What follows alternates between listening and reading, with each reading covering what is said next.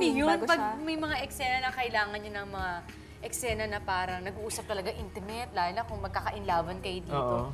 Paano Ako? yun? Paano Siya. approach yung gagawin? Siya yung madalas na Na, ganun sanay eh. naman ako mag-isa eh. Ah! Aba! Boy, teka na naman.